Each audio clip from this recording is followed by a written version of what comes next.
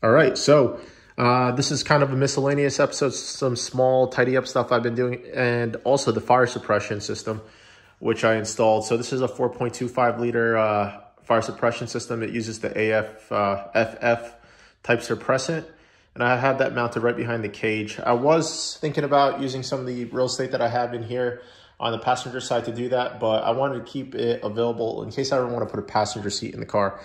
So I ran, let's say, one, two, three, four, five nozzles on this setup.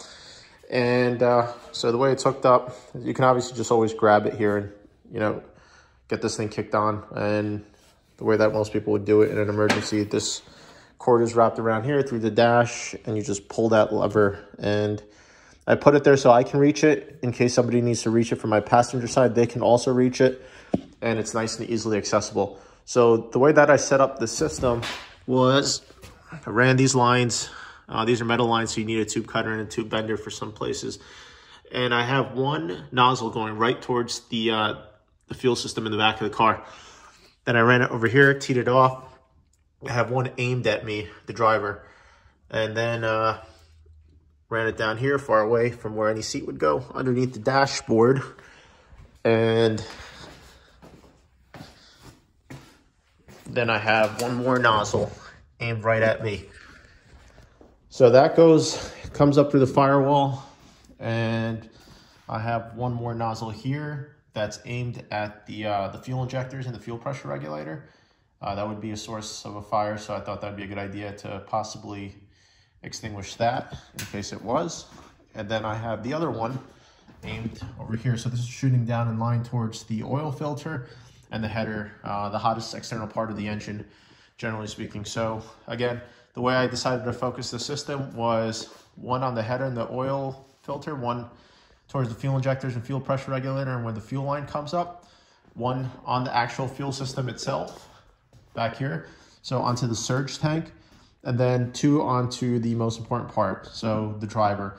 And I'm extinguishing the driver, me, uh, from underneath uh, facing and blowing backwards, and then from behind facing forward.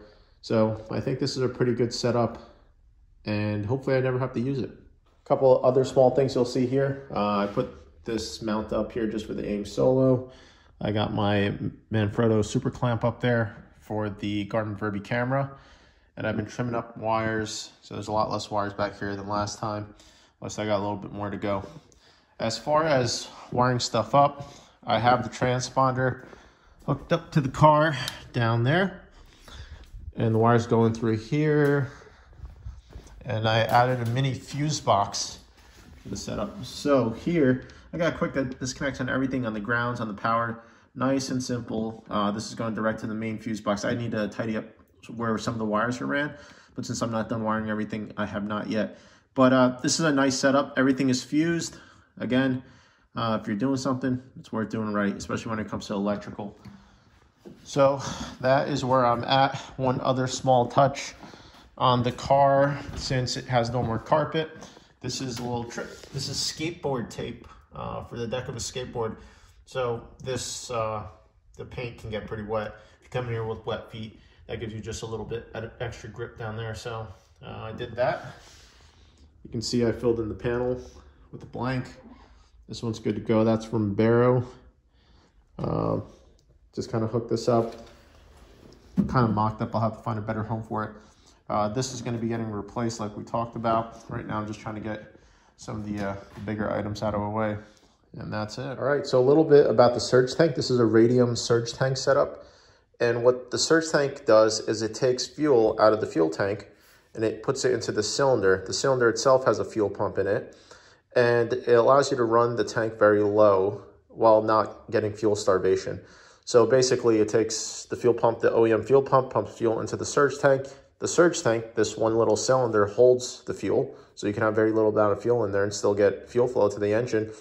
And it just hooks right back up to the stock fuel lines and delivers it to the front of the motor. Uh, nice little setup. It allows you to get the car really light if you want to kind of use fuel as ballast and run it super low. Never have to worry about fuel starvation or anything like that. Uh, it's just a neat little setup. The, uh, the only gripe I really have with this is I wish that there was somewhere else to put it. Uh, the setup that they come with really requires to put it right next to the fuel tank.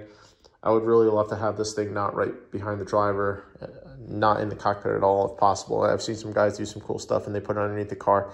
And maybe next year when I take the car apart uh, for a refresh, I'll do it at that time. But for now, this is how it's hooked up.